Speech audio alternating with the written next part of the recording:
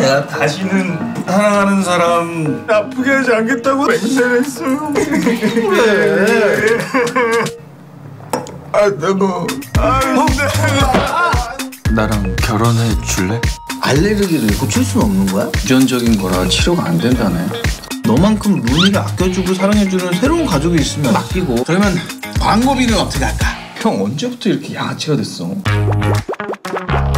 그 반려견이랑 같이 큰 아기는 면역력도 훨씬 더 높고 아, 자 그럼 양쪽 다 마음에 시어머니께서 찾으시는 것 같습니다. 보스턴에 좀 가봐야 될 것 같아.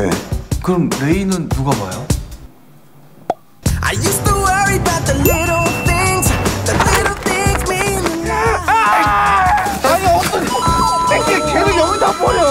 저희 센터엔 지금 자리가 없어요.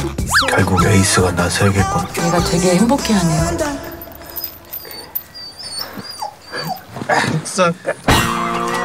아 그리고 지금 이 상황에서 개한 마리 더 있는 거 티도 안 나. 얘는 또 누구냐? 여기 있는 개들은 행복해 보인다고 그랬잖아. 우리 걔들 안 받아주면 어떡해? 애들은 아빠로 보는 것 같은데요? 해봐. 박두피 씨 같아.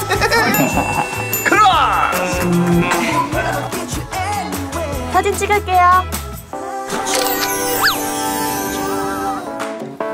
정성을 다해 모시겠습니다.